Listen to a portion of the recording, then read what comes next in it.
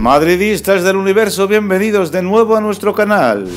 El Real Madrid comienza el camino hacia la conquista de su decimoquinta Copa de Europa. Hoy martes a las 21 horas visitará al Celtic de Glasgow 42 años después. El equipo merengue buscará así su primera victoria en el comienzo de esta nueva Champions. Odriozola y Vallejo por lesión serán los dos únicos futbolistas que no viajarán con el club blanco.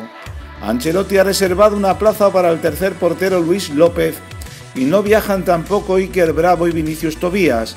Ambos esos sí han sido inscritos por el Real Madrid en la lista A para poder disputar la presente edición de la Champions.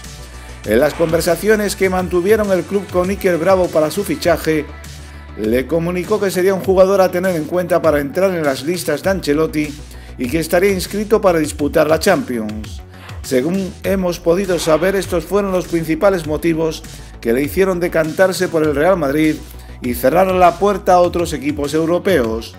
Veremos si finalmente Ancelotti decide brindarle la oportunidad de convocarle en futuros partidos, pero no hay duda de que es otro recurso, puesto que el futbolista es un delantero centro puro y la segunda opción para el italiano es Hazard como falso 9. Los hombres que alinearán Ancelotti e iniciarán el camino de una nueva edición de la Champions serán Courtois en portería, Lucas Vázquez, Militao, Rudiger y Mendy en defensa, Modric, Chouameni y Kroos en el centro del campo, con Valverde, Benzema y Vinicius en la delantera.